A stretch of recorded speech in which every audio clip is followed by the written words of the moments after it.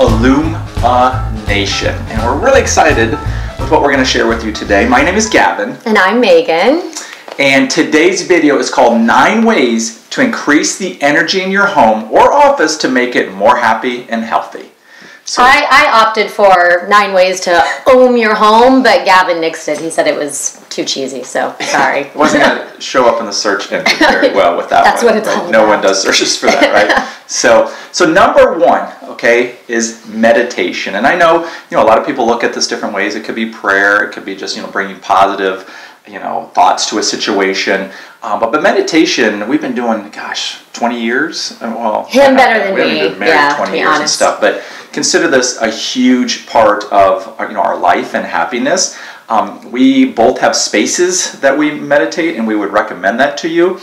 And in, in fact, you know, most people can go and find information on like how to meditate, but what we think the best app we've come across is this um, app called Insight Timer. It's free and it's guided. So when you first start, you know, meditating, it's hard to like, you know, not have thoughts on all the, you know, to-do list for that day and everything that you're supposed to be doing. So this guided meditation of your choice in a lot of different categories, it just does a great job of getting you, you know, to let go, to get in a better vibration and, you know, to really prepare you for the day. It's a big part of my morning meditation. So Well, and the nice thing about that app is that you can set like how much time you have. So if you have more time, you can kind of choose a category that, you know, 10 to 20 minutes. If you just have a few minutes before you're, you know, running out the door, even, you know, 3 to 5 minutes is, you know, sufficient to sit down and just kind of get centered for the day. So you can kind of customize that search engine for yourself, which is really nice. Yeah, so, it's cool. There's days that I'm like, I've got the time, and I do like a 50 minute meditation, and there's days, yeah, it's like three or four minutes, right? so,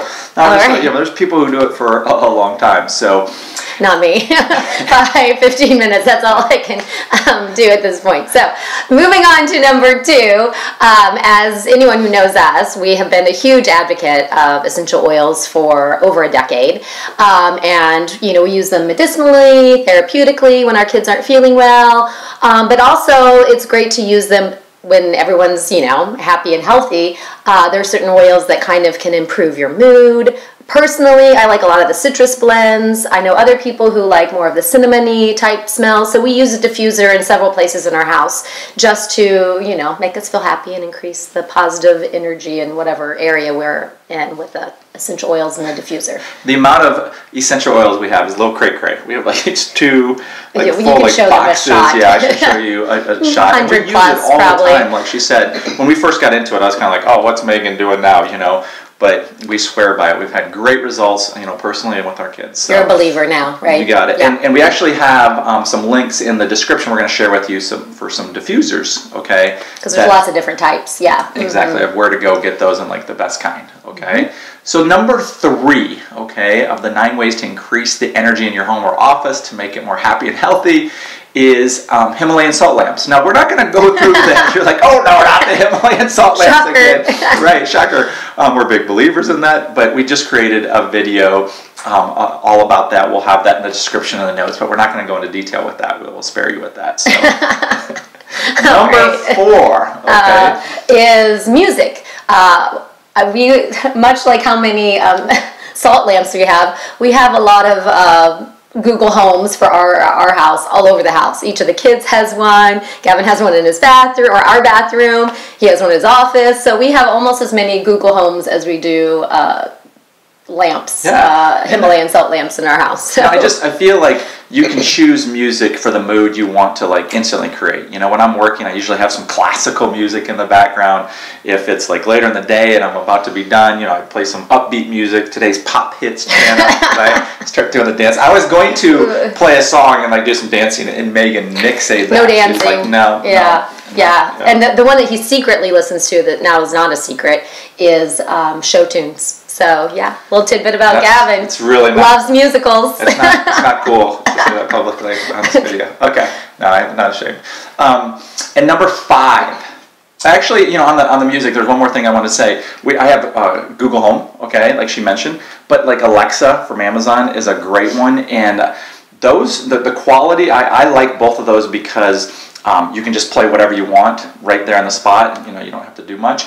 Um, but there's a, a, speaker called Sonos that is now with Alexa, and they're not too you know too crazy expensive. We'll have a you know link for that too. But it's a great quality speaker and has Alexa, so you can tell it what music you want to play. Yeah. So number five, sunshine and brightness. This is my turn. That's why she's looking at me. So we're you know we usually we go on a lot of walks together, right? So that's an outside thing, but you know in every room. Part of the reason why we did this here is we really like to be in the light. So we try to have like all our blinds open, you know, have lights on and stuff because, you know, it's been proven that that, you know, increases your not only energy but your happiness, mm-hmm. right?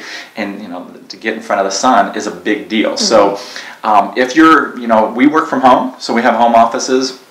But if you're at work, you know, try to do everything you can to, to either go outside, if you can't, you know, have a window with the, the sun, but get, you know, around some light and some sunshine mm-hmm. as much Even if lunch break or whatever, get outside, you know, right. breathe some fresh air. That'll increase the, the energy. Exactly. Mm-hmm. All right, number six is near and dear to my heart is declutter. If anyone who knows me knows I hate clutter, I love to organize things, and I think that is huge in your home. If you have a lot of stuff sitting around, it does take up energy and space. Um, and the more that you kind of eliminate a lot of those things and just keep the things in your life that you really love and have positive memories for you, uh, definitely a great way to like improve the energy of your home. So get rid of all the junk you have sitting around, toss it, donate it, recycle it, all that good stuff. And early in our relationship, there was a lot of fights over this because I was not the most cleanly or organized, and I fought her like it's no big deal. But now, having been married to her for like 18 years, I don't think it's like 18 years. Yes, yeah. uh, that you know, I really buy into it too, and I'm not quite at the level she is. Like my, my, office on the surface, like oh, you come in, it's like really clean, and then you start going in some drawers. Not so not, clean. Not so great. not so great. But I'm working on it, and that's the thing I want to say is like all these things we're you know working on these things and we're applying these and doing these things but it's like everything's a work in progress yeah there's no mastery yeah. for any of these things yeah. yeah. it's just always a process right and yeah. in fact that leads us into the next three okay seven through nine is that these we're not that good at these or even doing these much at all but we want to you know add them to our arsenal and we want to share them with you yeah one of the things that i've just been seeing a lot recently is the number idea seven. oh yeah number there we go number seven um, is smudging or saging your home to just kind of eliminate negative energy, um, to increase the positive vibes in the house, basically. Because you know, you come in and for us, we you know move to a new house every couple of years, and there's old energy there from from past um, owners or occupants.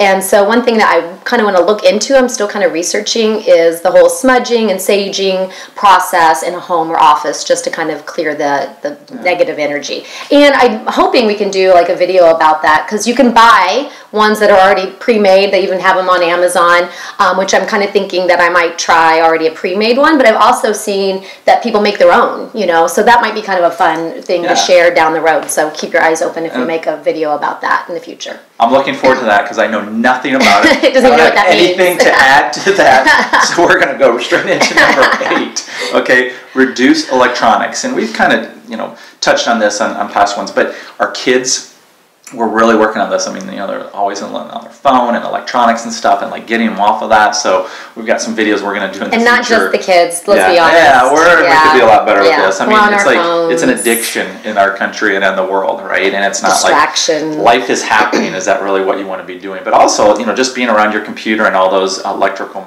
electromagnetic frequencies. EMFs. Um, yes, mm-hmm. it's not great for you, right? Mm-hmm. So uh, get away from your computer as much as you can and um, in, in, electronics and it's going to be very there helpful. actually are devices that you can put on electronics and your phone that help dissipate some of those yeah. negative uh, waves that you're getting so that's some other things that we may touch on in yeah. the future but and Himalayan yeah. salt lamps help with that too mm-hmm. yet um, yeah, there's like some stickers and all that yeah, stuff. So we'll, we'll yeah. leave some links on that too. Yeah, all and right? share more maybe down the road.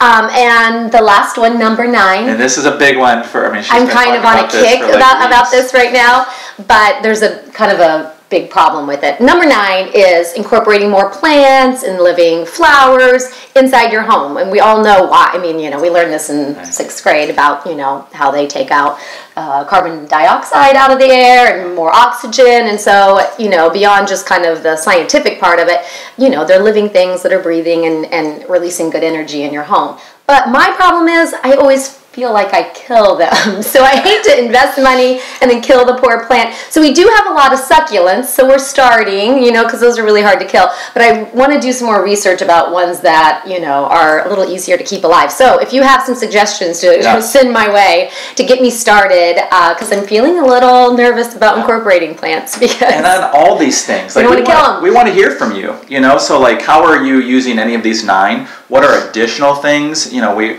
we're going to possibly talk about candles what are some other things that we had on the list I mean, it just it didn't make the nine and stuff but we'd like to hear from you like what what are you using that is helping your home be more healthy and happy and abundant right so increasing the vibration Mm-hmm. right How are you oming your home? he loves it.